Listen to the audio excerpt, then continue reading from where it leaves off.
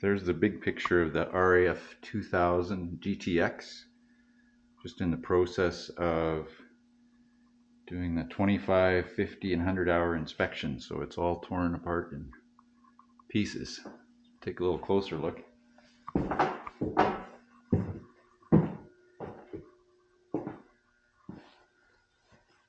Got the doors off.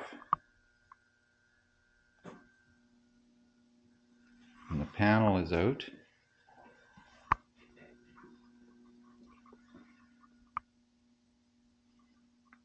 Just trying to sort out the wiring.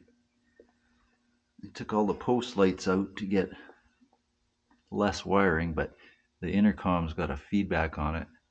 I don't really know on these jacks what the resistors are for on there, or if they're supposed to be. I'm no electronics guy.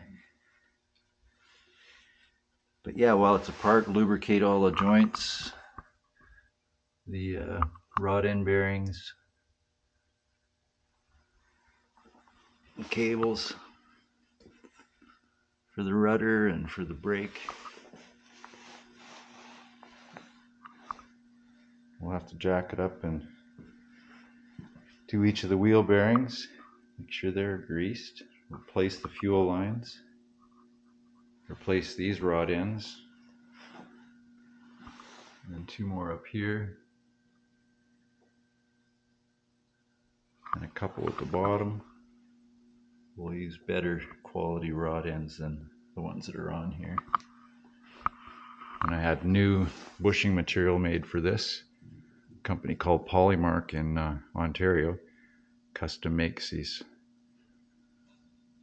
polyethylene, I think it's called, 50 durometer. And the carb's off right now. And the propeller. Already put a new belt on it and uh, changed the oil.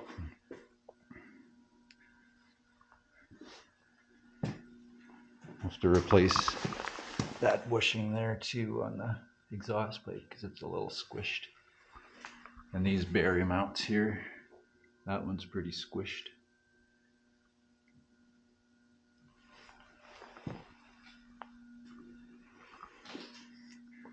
pulled the fuel tank out because seemed to be a bit of a leak.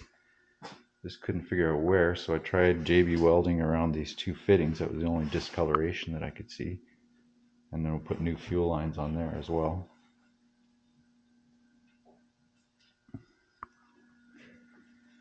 So yeah, change the oil and a new oil filter. Just used a gear clamp to safety wire it. Keep it tight.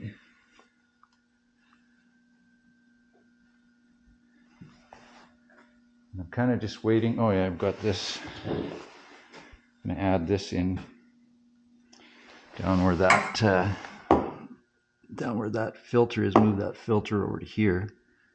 And then a clear hose will come up from here and we'll use that as a sight gauge to measure out, put one gallon in at a time and mark it on the on plastic tubing like this. And the valve on here so you can close it off because apparently you get low on fuel that'll start sucking air down that pipe and uh, starve you for gas, so that wouldn't be good. Yeah, I seem to have every tool my basement out here. This is the pre-rotator cable. So you pull that, have to pull that uh, square flex tube out and clean it up and lubricate it. And then the K&N filter, bought a filter recharger cleaning kit for that, so we'll do that. Holley carburetor, the two barrel, I've already rebuilt that. And oh, just some more miscellaneous hoses. Replace uh, replace any of the old hoses on the cooling system. And I'll rerun those long hoses down there. Those go in up to the radiator up front for uh, for the defrost. You can see that just under under the dash here.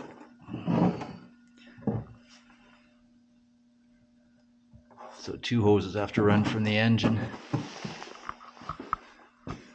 Come out through from this port, so this hose would go away. Come out through this port, down and through the fuselage, then come back out and go into this port. So it's in lots of pieces now, but when it gets back put back together again, it'll start to it'll look like a gyrocopter again.